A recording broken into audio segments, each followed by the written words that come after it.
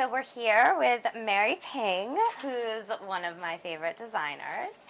And she has let us come into her studio and look at some of what she's working on. What do we have here? Will you talk about some of the fabulous things hanging on this rack? This is just a, a dress that we did. Um, it's a cutout. It's actually um, based off of like a an enlarged like T-shirt shape, and then we just sort of removed the space and created That's negative really cool. But then it's sort of like adding it another like positive space by like outlining it. Mm-hmm. In the show, it was like the model could get away with nothing underneath. But the other thing that I, I think is fun to that I would suggest is wearing like a, a colored bandeau under. It seems like a lot of the clothes you design are sort of very like easy breezy, loose, but also very sexy. At the Yeah, same time. and I think in a subtle way. It's nothing like overt. It's, it's a little more intellectualized. It's a little more um, artistic. what are you kind of striving for in your creations? Like what sort of look? I try to create something that's timely but also timeless.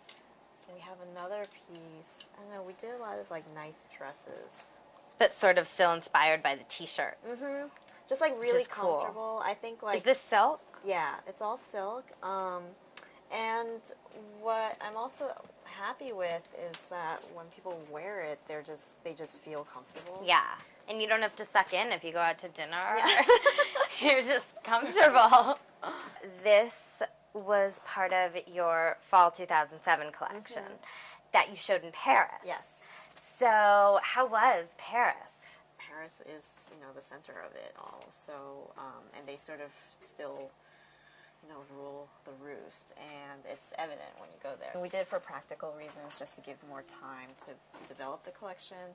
Um, but it was also something about the feel of the collection was just more appropriate in you know a setting in Paris. My design heroes were like all Parisian like designers, like old Balenciaga, original Balenciaga, and also right now new Balenciaga by Nicolas Ghesquière. I love that you don't limit yourself. I love that you did two collections in New York and then you have a vision and so you do it in Paris. Mm-hmm. And now your next vision you feel like will work in New York. So you're Yeah. going to do it in New York. I think that that's great. This one, it was sort of like a piece everyone got really excited about, um, and it's just a really Wow. simple cape, but all the the um, technique is just we slashed the fabric, you know. That is very cool. It's actually wool cashmere. and there's a hood. It's a hood. It's a How hooded fabulous. cape that's Oh also God. slashed.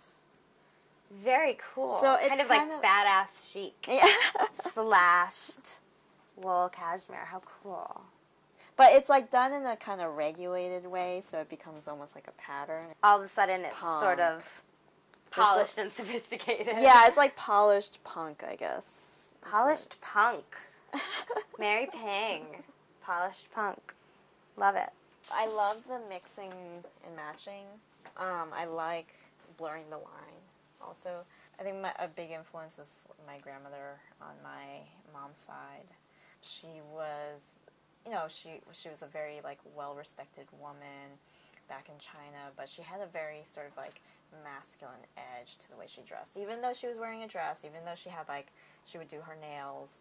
Um, and she had a purse, but there's something maybe because she was like really tall, very Catherine Hepburnish, I would say. Okay. That comes out a little bit in your designs. I think so. I don't know if it's like something I'm uh, aware of, like consciously, like I'm like I have to make this androgynous, or if it's just something that I'm used to, and it just is my own personal taste, and you know comes out in the design. So now, can we take a look at your closet? My closet is kind of all over the place, but um, I can definitely show you a few things. Um, I tend to buy things. I know it's gonna sound totally cheesy, but like um, only if I love it.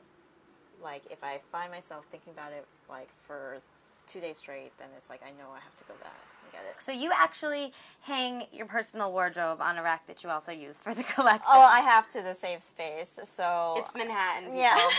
so this is a piece I found on eBay. It's an original Pierre Cardin. Oh, that's gorgeous. Um, Oh. Oh, wow.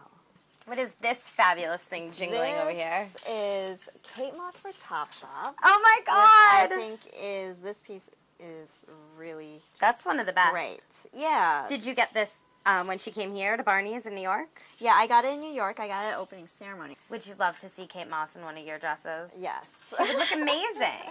I know you have great shoes. Show us some of your shoes. I have Roger Vivier heels, which I actually show wear them, show them.